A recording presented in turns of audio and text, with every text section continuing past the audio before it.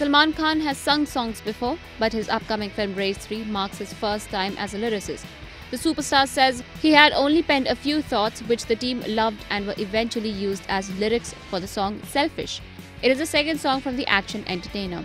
Talking about it, Salman said in a statement, While discussing the creative for the song, I penned down a few thoughts on paper in sync with the plot of the film, which is about the selfishness within the family.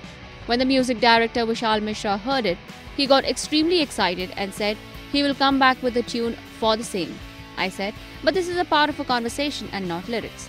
However, he insisted to use the thoughts as it is for the song.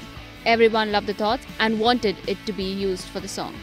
Featuring Salman, Jacqueline Fernandez, Bobby Deol, and Daisy Shah, Selfish is a romantic song. It is sung by Pakistani singer Atif Aslam, who has delivered Pehli Nazar and Beintehaan for the earlier installments of Race franchise. Race 3, directed by Remo D'Souza, will release on Eid this year. Report.